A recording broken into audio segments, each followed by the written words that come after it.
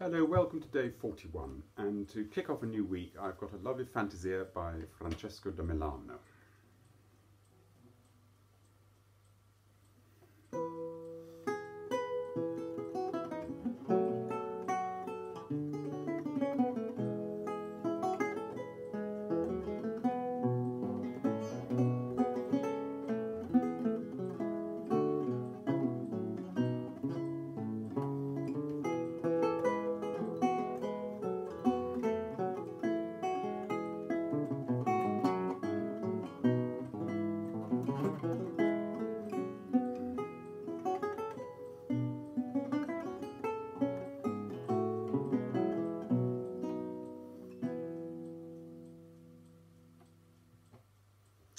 Hope you enjoyed that.